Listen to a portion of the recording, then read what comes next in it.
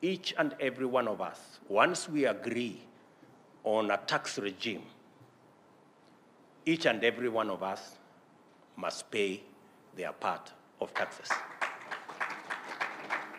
We cannot continue to operate in a space where those in power exempt themselves from paying taxes using all manner of instruments, while those who do not have as much power pay tax. All I am saying is that the good people who are used to exempting themselves from paying tax, their day is up. Every citizen must pay tax. That's all I'm saying. And it doesn't matter.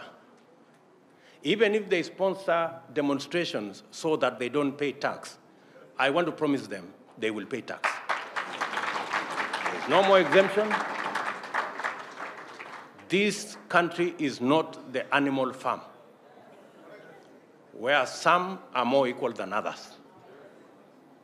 We are going to have a society where every citizen carries a, a fair share of our burden to raise uh, taxes.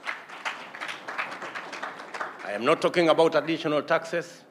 I am talking about taxes that have been agreed upon by Parliament and signed into law.